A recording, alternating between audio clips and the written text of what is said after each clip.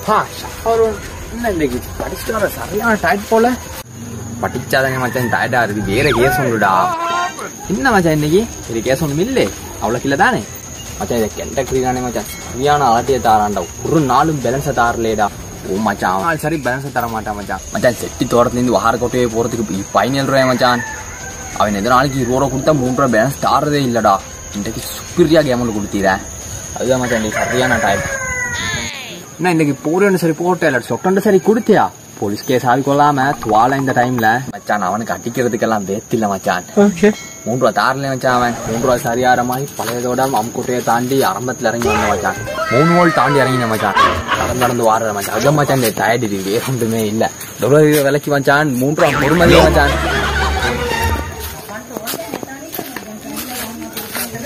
சரி மச்சான் நைட்டு கிளம்பி செக்ஸ் ஆக மச்சான்.